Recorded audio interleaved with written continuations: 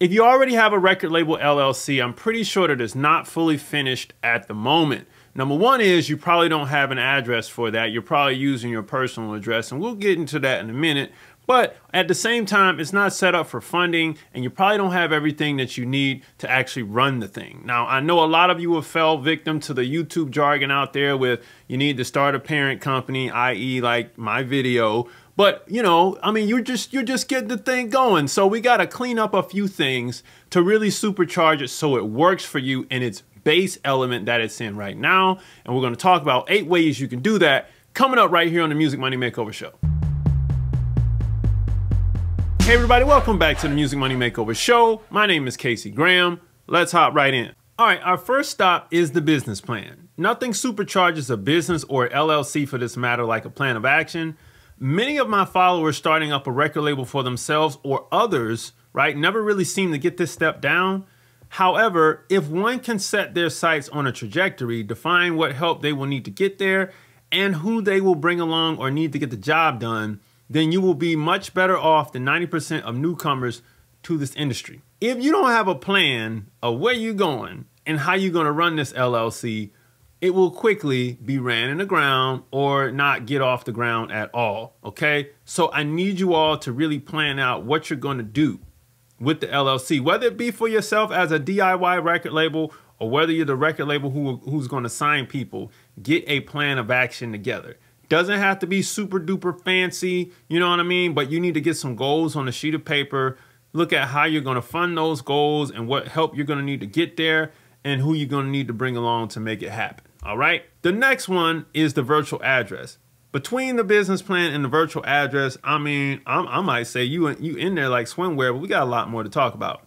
Virtual offices add a layer of protection between your residence and the general public. I recommend getting this type of address for professionalism, security, and financial mobility. So I'll tell you this, a lot of people who get on calls with me end up having their personal addresses on file. I'm not saying everybody, but I'm saying a lot.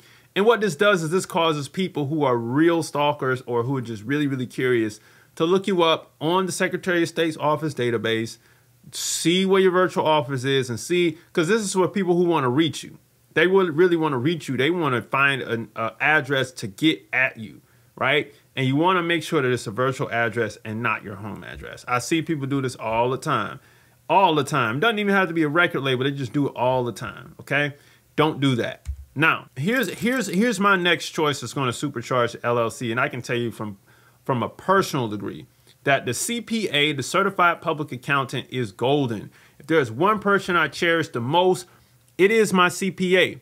They help you with tax strategies that will help you grow as a business. And trust me, I've tried implementing tax strategies myself via YouTubers, but I can't tell you how many meetings I've had with my CPA last year to set myself up for this year. So, CPAs will save the day when it comes to getting your finances in order.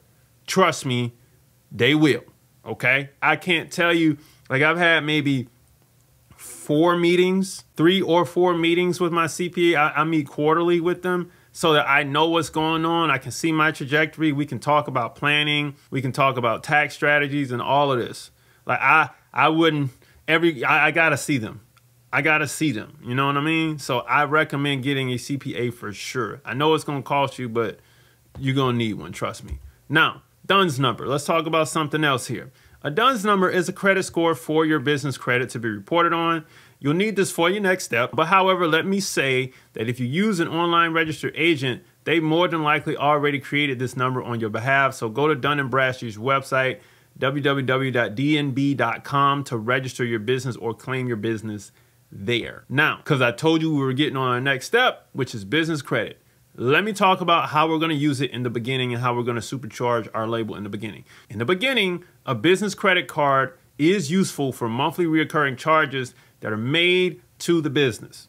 That's use one. Not so much funding your recording process, not yet. Why? Because you're not making enough income yet to cover the bill each month, okay? Number two, this card will be used to protect the money you have in the bank. We don't want to swipe our debit card, we want to swipe our credit card.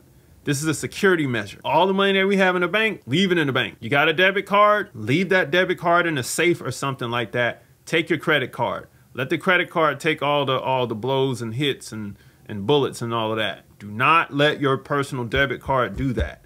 All right, so this is an added layer of protection that you can take around in your wallet with you. All right, all cash flow must be protected. Now, here are three contracts that you need to have at your disposal in your arsenal. A recording contract at all times, unless you're a DIY single artist record label, you need your recording contract because you need to know how you're going to sign artists and how you like to sign artists. Every label doesn't like to sign artists the same way, and you need to have one that is written specifically for you. Then you need a producer agreement for how you want to do business with producers, the non-negotiable version all right? And this is what you're going to sit down with your attorney. You're going to you're going to be able to find an attorney when you tell them i need a recording contract i need a producer agreement and you know one-stop agreement. The one-stop agreement is actually uh the it's giving you the permission to license on everybody's behalf on a single composition and master. All right? And everybody needs this. It's something that goes overlooked beyond split sheets and stuff like that if you are the record label you need to possess the the permission to license records on everybody's behalf. One stop agreement is going to do that for you. It'll also help you to enter the synchronization world uh, with a quicker pace. So if you come to the table with an attorney uh, you you'll be able to find one when you tell them hey i got some money for you and i need you to draft some contracts for me. Um, and then when you have these in your arsenal i guarantee you the confidence boost because if you know the type of business that you want to do based on the tool that you want to use, we can now move forward. This goes hand in hand with our business plan. All right. Now, accounting software. I love QuickBooks. I won't recommend anything but QuickBooks, especially QuickBooks Online, QBO. QuickBooks Online will save you at the end of each tax year and each quarter. Your profit and loss statements will read almost identical to your Schedule C, and you can really keep track of the cash flow your business of your business so you know how much you have on hand and how much you need to borrow simply put. And plus much more you know what i mean? Like you can 1099 people out of that sucker. Like you it's just it just helps man. It helps. It's such a big help man. Like for anyway i'm not going to go on a soapbox with it. Now aging the llc this one doesn't take much on your behalf but if your llc is built out properly with all the information that truly makes it an entity on its own you'll be fine. Let the LLC age and watch what funding opportunities open up to you in six months to a year. Guarantee it. I guarantee you that if you, you get the first business credit card, you're going to start to see offers of 200,000, 300,000. This is credit now. 500,000 depending on how much credit you're using coming into you because you did everything right. We didn't talk about everything on the show. Most of that stuff or all of that stuff is really in the 60-day record label course. Now, if I get credit, how should I spend it? You should never use credit unless you have a play that you're going to run that involves you breaking even or making a profit. Let me say that again.